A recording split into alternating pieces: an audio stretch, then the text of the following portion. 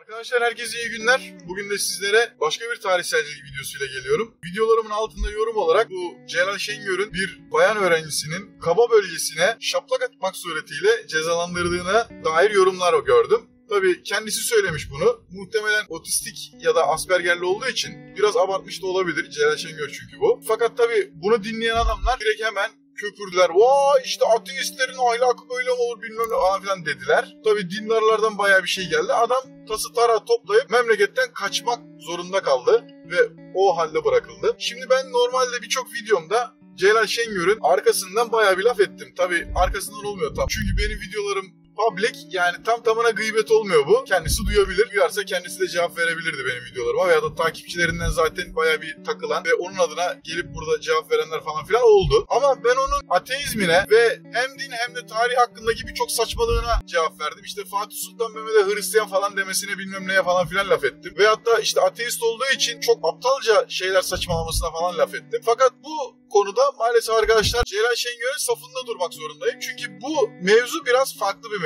Bir bayan öğrencisinin kalçasına eliyle bir tokat atmış. Bunu da kendi ağzıyla söylüyor ve bu alanda bir utancı falan filan da yok. Bunun normal bir şey olduğunu düşündüğü için öyle söylüyor. Buna ek olarak şimdi bir de Efe Aydal yeni bir video yaptı. Biliyorsunuz Efe Aydal faşist olarak biliniyor ve feminist dernekleri falan filan sevmiyorlar kendisini. O da muhtemelen onlara birazcık şirin görünmek ve de kendisinin aslında böyle feminist karşıtı falan filan olmadığını belirtmek için yeni bir video yaptı ve bu videoda da Yeşilçam'da bundan sadece 30-40 yıl evvel çekilmiş bazı filmleri falan yorumladı. O yorumların bir tanesinde mesela şunu dedi. İşte Gülşen Bubikoğlu bir tane adamla evleniyormuş. Adamın üçüncü karısı oluyormuş falan. Sonra da o da onu sineye çekiyormuş ve hatta Cüneyt Arkın polis olarak işte bir tane fahişeyi buluyormuş. O fahişe de diyormuş ki beni köyüme göndermeyin beni köyümde zorla bir adama sattılar falan diyormuş. Cüneyt Arkın da cevap olarak ulan seni köyünde satsalar satsalar bir kişiye satarlar. Burada 50 tane adama satılmaktansa köyünde bir tane adama satılmak daha iyidir deyip onu köyüne gönderiyormuş mesela. Ve Faydal da bunu eleştiriyordu. Lan böyle bir şey nasıl olur?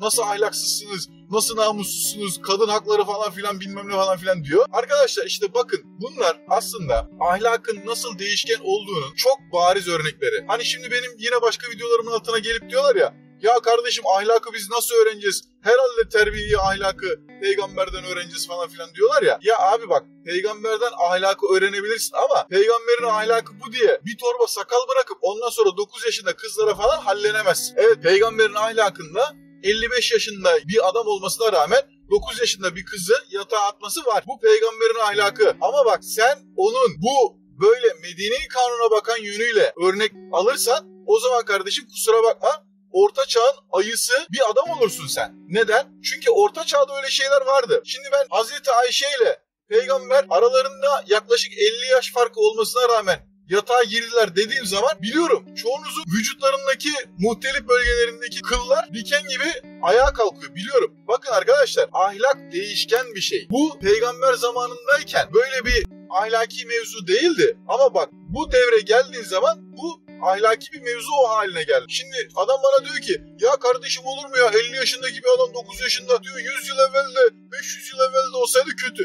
Bak kardeş öyle değil işte 500 yıl evvel değil 50 yıl evvel bile sana normal gelen şeyler bak bugün mideni bulandırıyor. 500 bin tane takipçisi olan adam hem de kendisi normal faşist olarak bilinmesine rağmen yahu nasıl diyor bir kızı diyor köyünde satılırsa satılsın deyip köyüne gönderebiliyorsun. Hiç mi yoktu kadın derneği? Hiç mi yoktu diyor. İşte yetim haklarına bakan bir yer sosyal esirgeme kurumu yok muydu böyle bir şey diyor mesela. Bunu dalga geçer gibi söylüyor. Bu Yeşilçam filmleri nasılmış kardeşim? Gülşen Bebikoğlu nasıl yani böyle bir senaryoya itiraz etmemiş? Bir tane evliliğin üçüncü karısı olarak, kumu olarak birine gidip nasıl böyle bir senaryoya itiraz etmemiş falan diyor. Kardeşim senin bilmediğin şey şu. 30 yıl evvel Aile Sosyal Politikalar Bakanlığı diye bir bakanlık yoktu. 30 yıl evvel İstanbul'da, İzmir'de böyle başı dik, tek başına iş kadın olarak çalışan kadın da yok. Sen eğer bir iş kadın olarak falan filan bir yere çıkacaksan kocanın şirketinde falan çalışırsın. Veyahut da işte avukatlık doktorluğu mu yapacaksın? Vardı öyle kadınlar ama ne yapıyordu? Kocasıyla aynı muayenehanede yapıyordu bu doktorluğu. Veyahut da muhasebecilik yapacaksa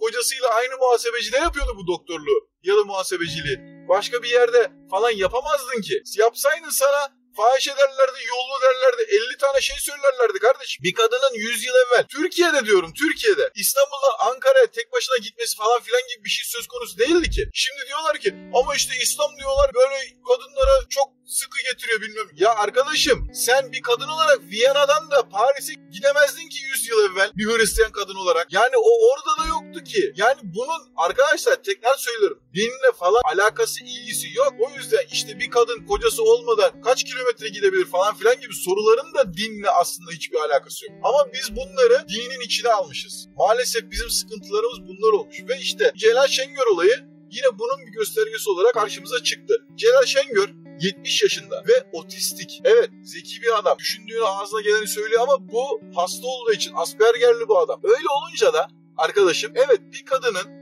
hem de kendisinden 50 yaş küçük bir kadının poposunu kaldırıp ona bir tane şaplak atmış olabilir. Çünkü Celal Şengör kendisi İstanbul'da büyürken yıl 1920 idi kardeşim. Herkes herkesi dövüyordu. 1920'de köle pazarı vardı ya İstanbul'da. Nur Osmaniye'de arkadaşlar Nur Osmaniye Camii'nin önünde köle satıyorlardı ya. Köle satıyorlardı diyorum köle. Sen parasını veriyordun, köle satın alıyordun ya. Yani bunlar cumhuriyetle kalktı. Şimdi sen köle pazarını görmüş bir adam olarak sana birisi dese ki ya bu insanlık dışı bilmem ne sen onu anlayamazsın ki. Çünkü senin gözünün önünde satıldı. Bu ahlakın bir parçasıydı kardeşim. Normal bir şeydi. Bak tekrar söylüyorum. Sen diyorsun ki ya olur mu ya kölelik bilmem ne peygamber köleliği kaldırdı. Lan peygamberin 50 tane kölesi vardı. Niye köleliği kaldırsın? Gerizekalı mı adam? Savaşlarda falan esir ettiği o kadar adam ne yapacaktı onlar? Ne yapsın abi savaşta esir ettiği adamı? Köle yapmayacaktı ne yapacak? Köle yaparsın sonra başını kurtarma için gelir onun sahipleri ya da yakınları gelirler sana para verirler. Sen o parayla da savaş ekonomisini döndürürsün. Bu bundan 100 yıl evveline kadar böyleydi arkadaşlar. Öyle 1 milyonluk savaşlar falan filan yoktu. Birinci Dünya Savaşı'nda hatta biraz daha öncesinde 1870'deki savaşlarda bu köle problemi ortaya çıktı da kölelik o yüzden kalktı zaten. Baktılar ki 500 bin tane askeri aynı anda köleleştiremiyorlar. Ya dediler biz başka bir şey yapalım dediler de o yüzden kölelik biraz kalkar gibi oldu. Yoksa bugün kölelik vardı zaten normal. Hiç kimsenin hayatını falan herhangi bir sekteye uğratmaz da emin olun hepinizin kölesi vardı. Yani zengin olanların. Ama arkadaşım bak şimdi sen daha 100 yıl evvelki şeyi bile anlayamıyorsun. Ondan sonra gelip burada ahlak bekçiliği yapıyorsun. Neymiş? Celal Şengör ahlaksız olduğu için bir tane kadının işte kıçına şaplak atmışmış. E kardeşim o kadın niye ona itiraz etmemiş? Bak çünkü o kültürdü o sırada. Bundan 30 yıl evvel kadının kıçına şaplak atabilirdin kardeşim. Bu normal bir şeydi. Bak tekrar söylüyorum normal bir şeydi anormal bir şey değildi. Öyle olunca da yapabiliyordun. Ya ben ilkokuldayken, ortaokuldayken, ya lisede bile ben öğretmenimden dayak yiyordum arkadaşlar. Belki aranızda vardır. Ya normal bir şeydi ya lise öğretmeninin, ortaokul öğretmeninin, ilkokul öğretmeninin insanları dövmesi, küçücük çocuklara vurması, cetvelle eline meline bilmem vurulması falan. Ya gayet normal bir şeydi. Ahlakın bir parçasıydı. Kimse demiyordu ki ya böyle şey olur mu? Seni okula götürdükleri zaman eti senin kemiği benim diyorlardı arkadaşlar. Yani ister döv ister söv istediğini yap diyorlardı. Ve ben baya normal bildiğin hakaretle işittim. Dayak da yedim de normal öğretmenlerimden. Ve ben bunun anormal bir şey olduğunu anlamadım. Ve 70 yaşında Asperger'li bir adam da bunu anlayamaz kardeşim. Ve şu anda evet ortam değişmiş olabilir ama ortam değiştiği için sen bu adama o anki ortamıyla ahlaksız diyemezsin ki. Ya o zamanın ahlaki öyleydi. Yine aynı şekilde Cüneyt Arkın'a, Gülşen Bubikoğlu'na ya senaryoları nasıl oynadınız kardeşim? Nasıl bunları paçavralayıp atmanırız diyemezsin. Çünkü Cüneyt Arkın'ın zamanında gerçekten de kadın şehre geldiği zaman istenmiyordu. Gitsin köyünde kalsın. Niye? Çünkü